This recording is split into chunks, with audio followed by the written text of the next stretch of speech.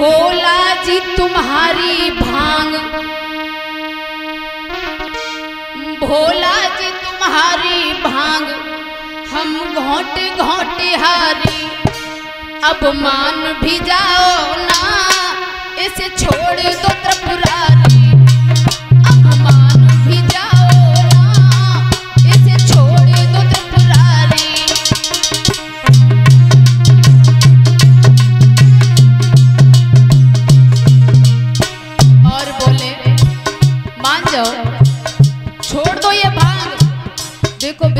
भगवान की पत्नी। कितने अच्छे से रहती हैं। विष्णु भगवान हीरा जवाहरात की माला डालते हैं। कितने अच्छे उनके पिया लगते हैं। और तो छोड़ो, सरस्वती मैया के देखो, कितने अच्छे लगते हैं। केवल मेरे ही भरतार ऐसे हैं। अरे मान जाओ, छोड़ दो।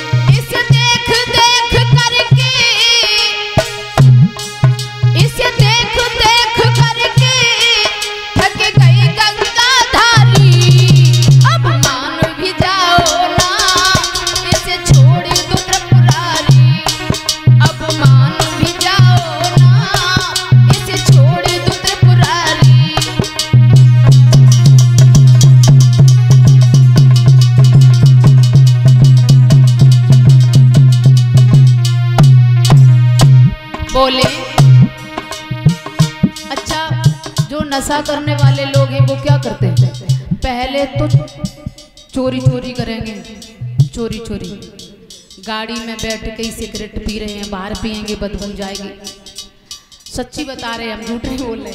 रास्ते में शाम को जब इधर से जाएँगे तो हमारे कहिए कि भैया रोड के नीचे, नहीं, गड्ढा से होता है। बिन में नीचे बैठे मिलते हैं। अपन अपन बनाए रहे, चढ़ाए रहे। चुप्पा चुप्पा।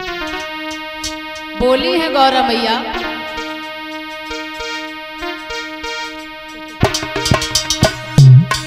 पहले तो चुपके से नंदी से मंगवा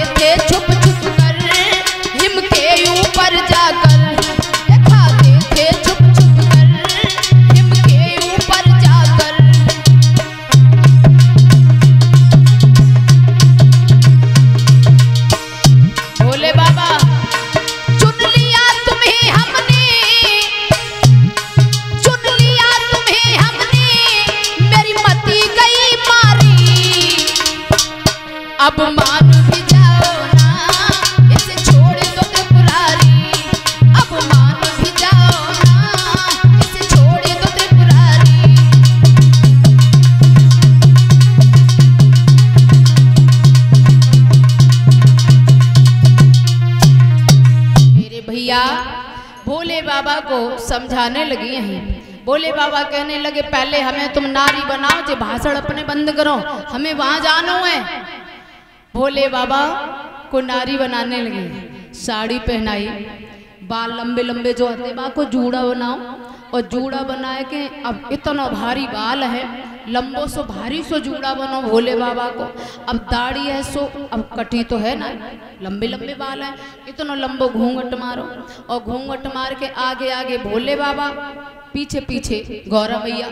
अब जब गौरा मैया पीछे चले, सो अब गौरा मैया बोली बोले बाबा, बोले हाँ।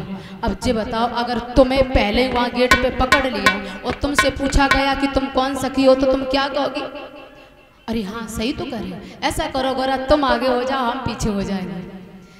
पार्वती मैया को आगे किया, भोले भंडारी पीछे हो गए।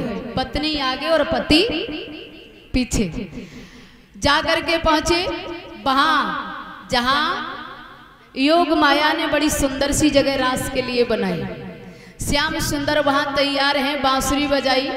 बांसुरी को जब बजाया, मधुर बांसुरी सुन करके कहते हैं कि श्याम सुंदर की बांसुरी सुनकर जितनी गोपियाँ हैं, अधूरा श्रृंगार यानी कि जो जहाँ जैसी स्थिति में थी, वो वहाँ से वैसी ही स्थिति में चली आई।